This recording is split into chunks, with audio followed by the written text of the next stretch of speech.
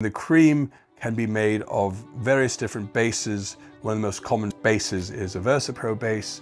Um, some creams in the past may have been made with lotions that were VersaPro lotions, not VersaPro base. So what does that mean? They basically have different components, some vitamin E, some different liposomal parts of a base to help hold the testosterone under the, the layers of the skin so that it creates a, a reservoir under the skin.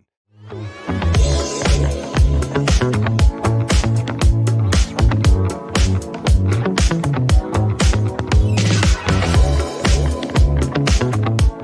welcome to the world of testosterone cream and testosterone cream in a particular container called TopiClick. So TopiClick is a particular brand quite popular in America and TopiClick claims to be one of the most precise and accurate dosing meters available or dosing containers available. So what does that mean dosing?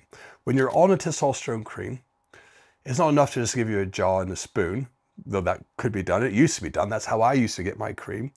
But rather, these new modern devices, the TopiClick being one of them, helps meter out your dose. So the testosterone is prepared specifically for you, the individual patient, based on your prescription. The average dose of testosterone would be anywhere from 37.5 milligrams per click, and each click has 0.25 milliliters, around 0.25 grams, all the way to 50 milligrams per click for that same volume of cream. And the cream can be made of various different bases. One of the most common bases is a VersaPro base.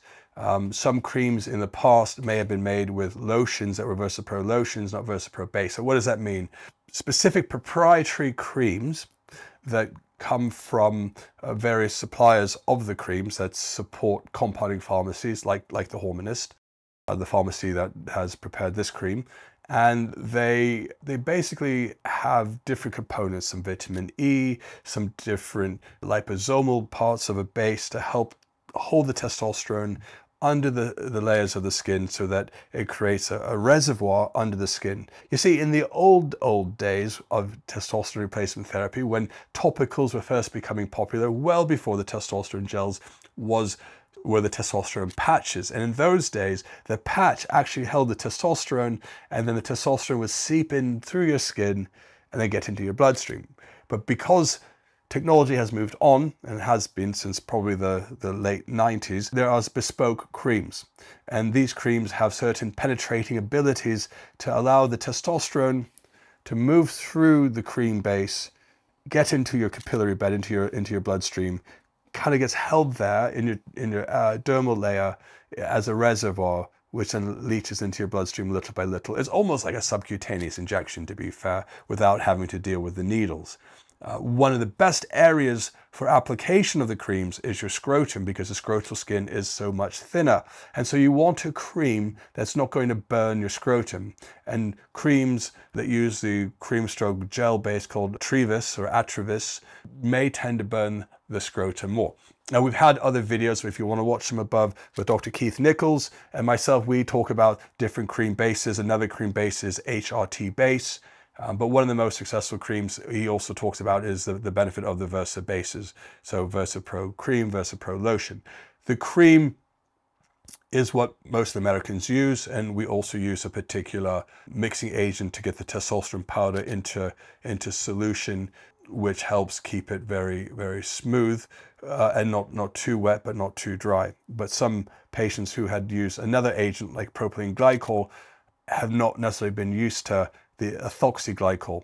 The benefit of the ethoxyglycol is you get a much longer time before your product expires. So like I said, each of the creams are made bespoke for the patient. The pharmacist makes the batch according to a proprietary formulation that has been reviewed and assessed for longevity and then uh, um, it's been confirmed that this the length of time the sell by date is expanded uh, Uh, as a result of this proprietary formulation. And so we try to stick with that formulation to give you the best, the best product of testosterone cream available. So one of the things a lot of patients get confused of is when they receive their cream, what does it look like? You want to know what to expect.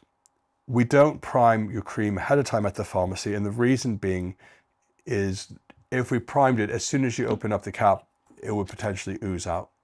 So a lot of patients are also confused what, what they need to do. So if you get your, your Topi-Click cream, you need to click it as many times like this as needed until it's ready to be primed. And you might click 20 times. It's completely natural. It's completely normal.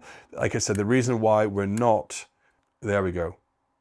The reason why we haven't pre-primed it is if we had it primed ready to open, it would have squirted out and you, you wouldn't be happy. So, so this dose on here, I don't know if you can see, that dose on there, that is essentially your one click. Now be aware that if you wipe off the one click and there's some testosterone that might ooze out, that's also part of your dose.